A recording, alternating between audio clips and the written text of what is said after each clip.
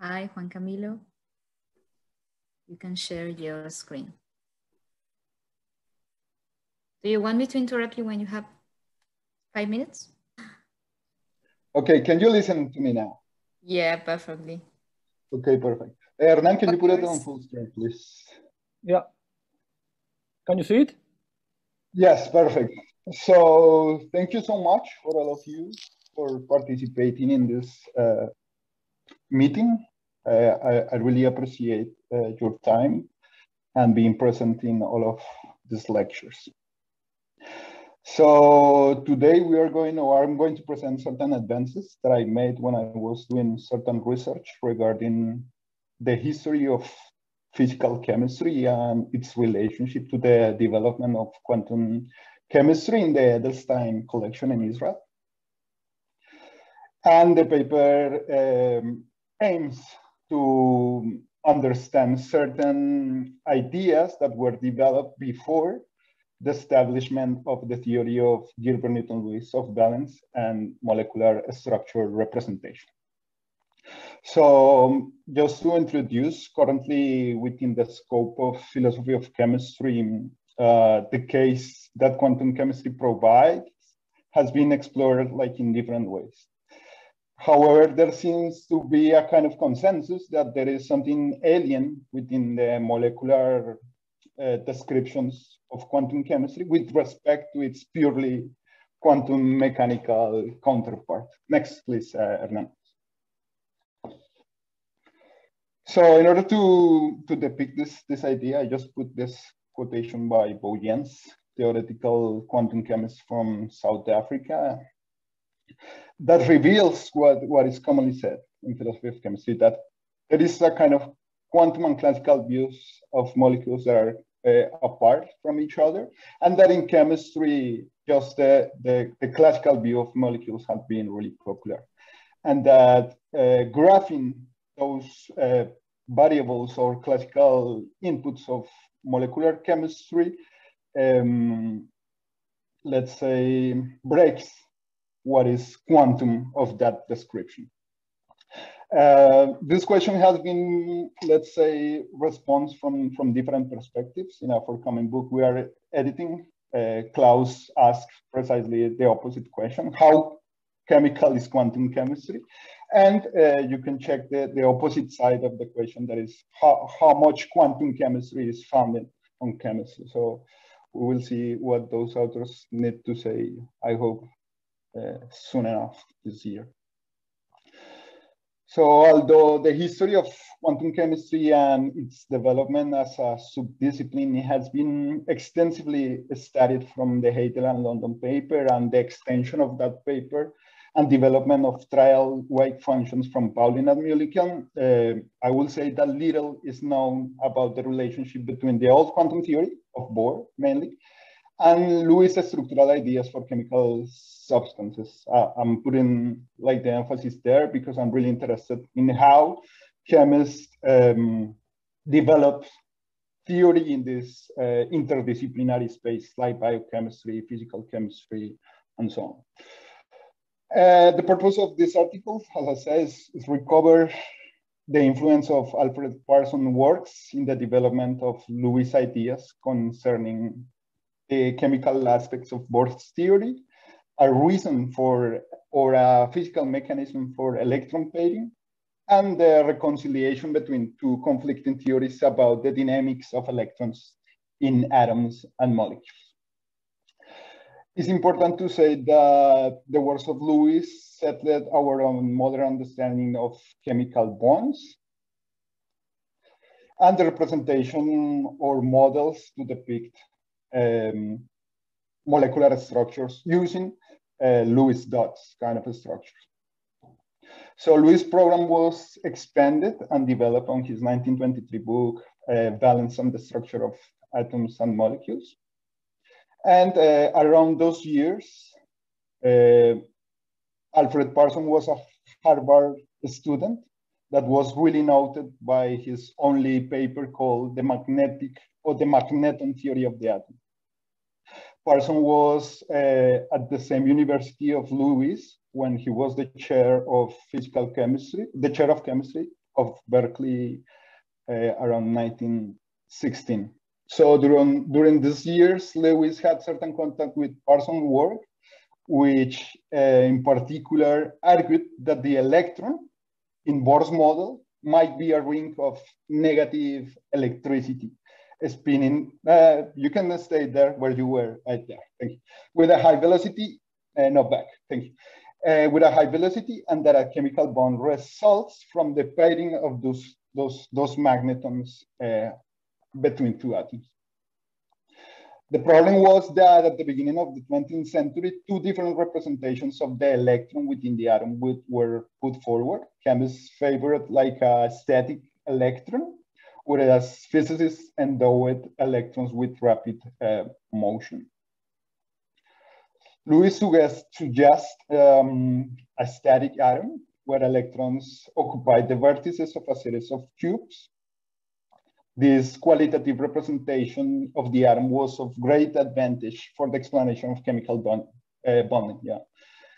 Bohr, on the other side, developed uh, his mathematical model in which electrons were rotating around the nuclei in stable orbits that satisfy certain quantum conditions, in particular Planck's constant. And this dynamic representation of the atom was supported uh, with data coming from spectroscopy, spectroscopy you know, mainly Rydberg series and the fine uh, structure of hydrogen spectra. So now I'm going to present these two conceptualizations more in detail and show how the conflict uh, was overcome. Next, please. So first, I'm going to introduce the, the ideas of the dynamic electron regarding solving the, the problem of molecular structure. Thanks to his theoretical methods developed in 1930, Bohr devoted the, the third part of that work to the problem of molecular structure. Bohr presented tentative structure for certain molecules. And the central element of Bohr model, as I said, was the introduction uh, of Planck's constant to classical electrodynamics in order to explain the, the size of the atom and to correct the radiative instability of Rutherford's atom. Bohr was like really confident regarding his chemical or the chemical aspects of his own theory uh, because he he was able to explain with this mechanism why two hydrogen atoms will uh, combine into a, a into a, a, a full molecule. And uh, what he refers as chemical combination is that the greater part of the electrons must be like arranged, arranged around each nuclei approximately as if the other nucleus were absent. You can see like in these representations, how this model works. The black dots represents the atomic nuclei, and in the middle, spinning between uh, those atomic nuclei, the electrons are fastly revolving, and that's the representation of Bohr's um, model of, of bonding. No, we have hydrogen molecule, oxygen molecule, and below of that, the molecule of, of water. So next, uh, please. One of the important parts is that Bohr model was um, able to calculate formation and dissociation for hydrogen molecules that was in agreement with the best uh, measured measurements of that uh, uh, physicochemical quantity made by Irving Langmuir. However, regarding to the questions of the bonds in methane, methane, Bohr wrote that the closer discussion of such questions of bigger molecules was uh, really apart or outside his own theory. However, Bohr's, Bohr's theory presented like a big conceptual step forward in chemistry, being, I would say, the first physicality theory for the role played by electrons on bonding. His conception of bonding as consisting of two rings of uh, two or more revolving electrons was a dynamical theory, but it was really complicated for chemistry for chemists at that time, maybe too complex, and really limited on his value of application because mainly organic chemistry uh, was related with covalent bonds or covalent compounds, but this theory was almost of no use. So the idea of moving electrons within the atom was centrally implicated in the empirical success of, success of Bohr's model, such the correction of the Rydberg constant and the fine structure of the hydrogen atom. This, of course, could not be easily dismissed, especially by a physical chemist such Lewis. Rather, Lewis tried to attempt uh, to, to show these problems of the dynamic conception of the electron uh, to fight physics on its own ground, as Theodore Arabatzis said. For that, Lewis argued that the motion of electrons in Bohr model has no physical effect whatsoever. And an additional difficulty was, according to Bohr, that according to Bohr, the revolution of the electrons must continue even down to the absolute zero of temperature. Lewis believed that relationships similar or the similar conclusions uh, obtained in Bohr's theory may be obtained even if we substitute the orbital atom of Bohr with this static atom. Next, Erna. So here I'm going to introduce what was actually the work of Alfred Parson. The essential assumption of what makes uh, the theory of Parson interesting was the, that the electron is in itself a magnetic entity, having, in addition to its negative charge, the properties of a circuit of the same order of magnitude, of the size of the atom.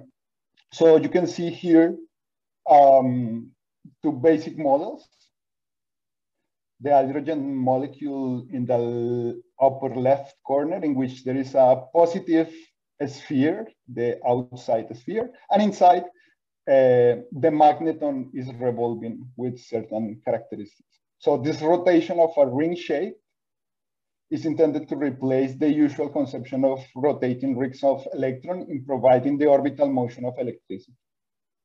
And with that, uh, Parson obtained a certain kind of model about the hydrogen molecule as a pairing, as pairing sorry, of two magnetons.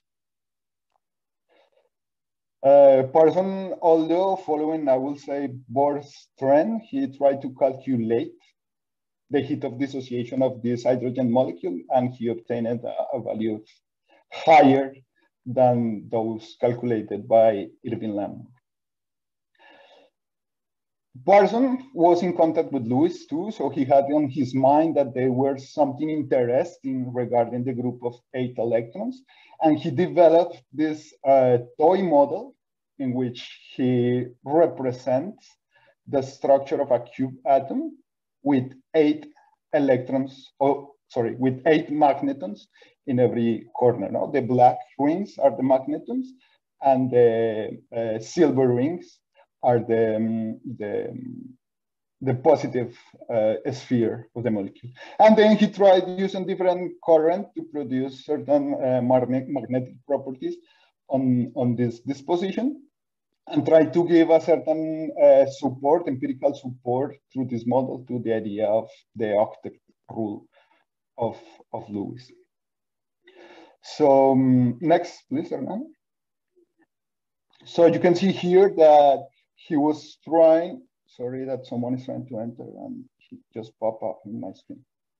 Okay, so um, the important part of, of Parsons' models was that he was trying to see how different uh, um, electric inputs can uh, vary the disposition of the magnetons in a space, just to try to see how those magnetons can interact with other magnetons in order to describe how a molecule can be structured in a space.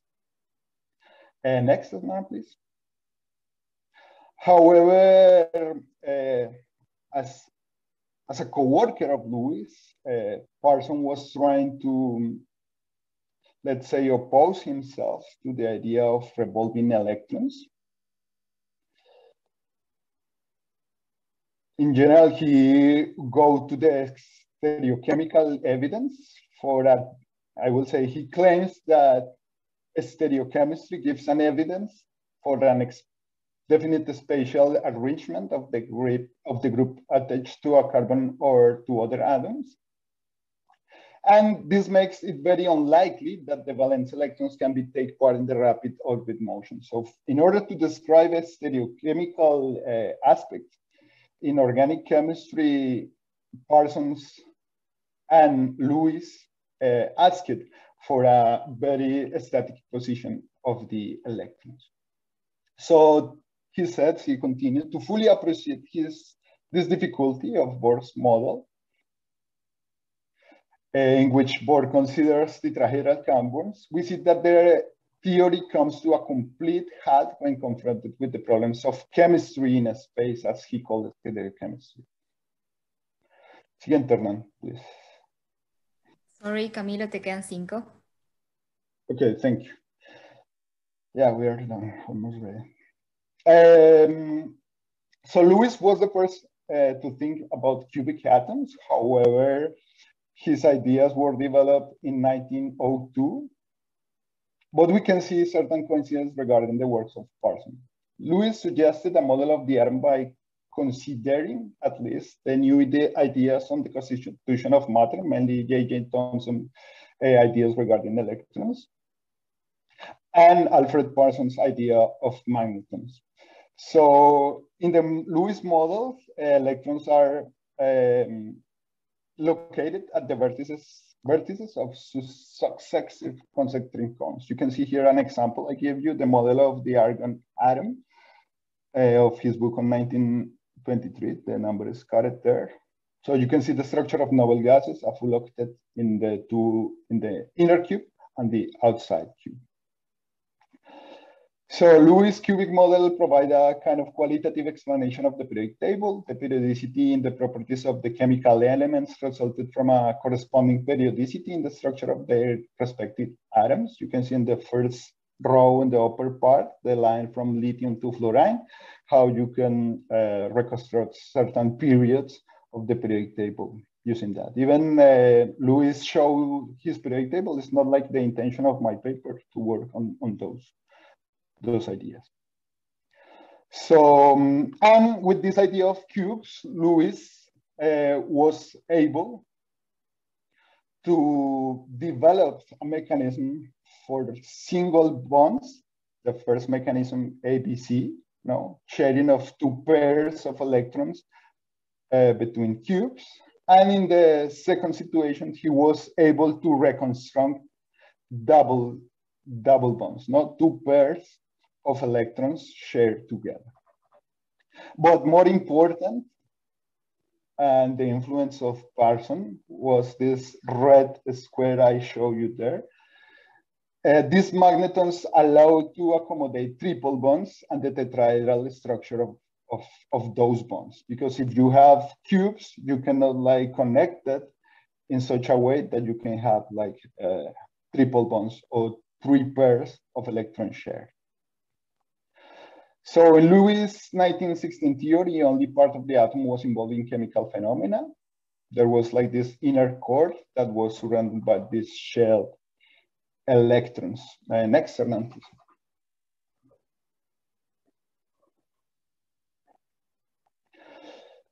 Um, but in order to, to have this configuration, the configuration I show you in this red square, the electrons at the small distances could not interact via Coulomb's law. No? So in his axiomatic description of the theory of atomic structure, in his sixth postulate, he says very clearly that electric forces between particles which are very close together do not obey the simple law of inverse squares, which holds at greater distances. He was like denying or giving up an established physical law in order to deprive the electron of motion. His motivation for doing so um, can be understood in his 1917 paper, The Static Atom. Uh, the aim of that paper was to discuss precisely the relationship between the atomic structure and the valence bonds by which the atom are regarded as tied together to form the more complicated structure of molecules. And he wanted to justify the, the, his fundamental postulate or the postulate of his theory that the atom is inertially at rest or nil resolved. So in the meantime, Lewis' static model of the atom was articulated further and widely published by uh, Irving Langmuir. However, from the point of view of physicists, of a physicist, Langmuir representation of the atom, sorry, that's some, something proper. Um, also had some unseemly feature, features. It dispensed with orbital motion and introduces instead an ad hoc quantum force. This is Irving Langmuir works for keeping the atom of, from collapsing. Uh, in his chapter of the 1923 book, Reconciliation of the Two Views, the arrangement of electrons in the atom, he claimed that was the orbit as a whole rather than the particular position of the electron within the orbit that is the thing of essential interest of Bohr. If, the, if these orbits are in fixed position and orientations, they might be used as the building stuff of an atom that has an essentially static character. The justification offered by Lewis, I will say, was based on the phenomena of isomerism of organic compounds. Lewis claimed that it seems inconceivable that electrons which have any part in determining the structure of such a molecule could possess proper motion, whether orbital or chaotic or any uh, of any uh, appreciable amplitude. Instead, we must assume rather that those electrons are held in the atom in fixed equilibrium positions about which they might experience minute or small oscillation. Thus, the idea that electrons in atoms or molecules could not possess proper motion was backed by chemical evidence. Next, Hernan, just to finish this part. So for physicists, uh, the difference between the chemists and physicists models can be understood if we take into account that they were different parts of background knowledge that constrained that theorizing. theorizing. For instance, for physicists, the consistent of atomic models with Coulomb law was like a sine qua non condition. And in the other hand, for chemists, on Coulomb's law was not an in a like uh, an important part or a constraint of the theory. The two communities had different attitudes towards mathematization. Physicists valued mathematical models where chemistry chemists were either indifferent toward them or distrust them, them altogether. Finally, the two communities had different attitudes toward experimental evidence depending on its origin. Chemists neglected the facts of physical experimentation, and physicists ignored, following Lewis, the facts of chemical combination. So to just to finish, uh, with this thorny conflict out of the way, Lewis could not like could now put center or in the center of the stage his main his main innovation that was a novel account of the chemical bond um, and the um, unification of what um,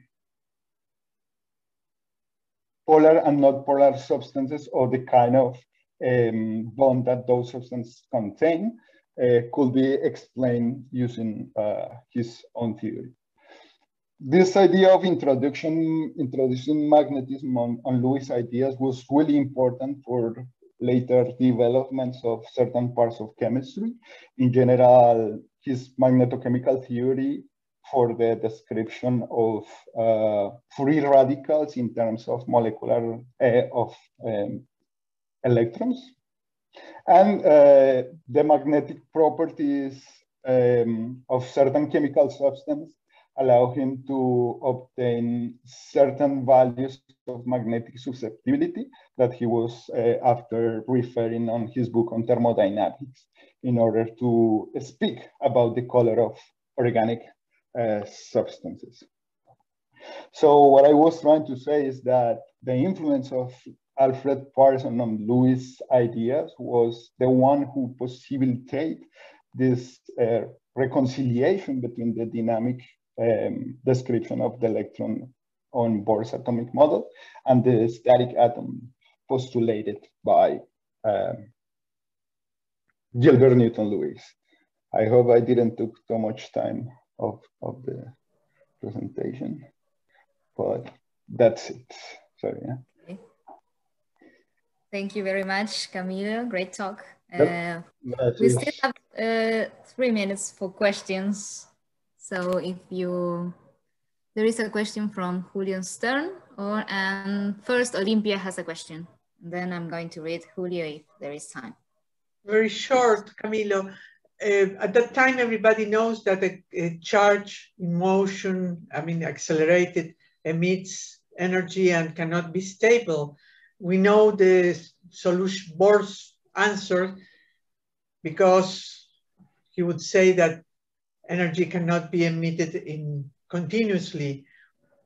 What was the answer from Parsons? The same as Bohr, or he had uh, regarding radiation of this this motion, he was not like really interested in. He he make a certain promise because he had just one paper, 1915, and at the final of that paper, he has like certain promise in order to resolve this radiation kind of situations with his magnetic cubic model. But he didn't went like too deep into that, actually. So uh, I really cannot answer that question for him. Well, he didn't answer. exactly. okay, thank you. So we still have one and a half minutes. So Julio, if you like, you can open your microphone. Okay. So I'm interested in the history of many things, including the history of technology and semiconductor devices.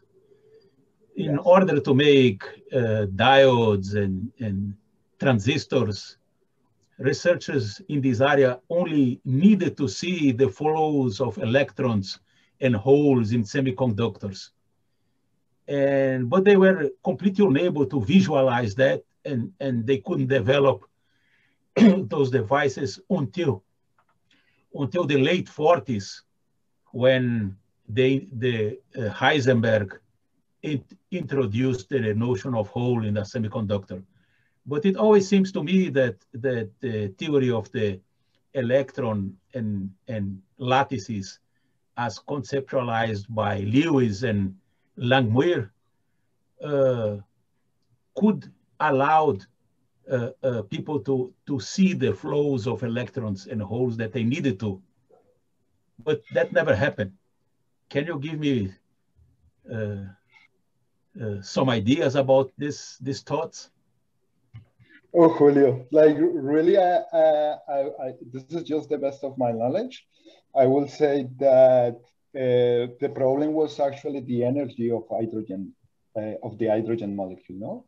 Uh, the replacement of these ideas of classical chemistry was due precisely because Heitler and London solved the problem of the hydrogen molecule and obtained a very good um, um, uh, values for, for heats of dissociation of hydrogen molecules. So maybe the reason was the replacement of, of these ideas and that uh, Lewis model just kept itself to a shortcut for education and, and certain classifications. But I, I, really don't know why this, this model didn't went through. Maybe because this magnetical theory or magnetical ideas of Lewis were not so well known, I would say, or I would say. Thank you. Gracias, Julio. Okay, so we have run out of time. Sorry, Eric, but maybe you can. I, I, will be. I will be in the coffee. I will be in the coffee break. Sorry, okay. Yeah? Sorry for taking Thank you, Camilo.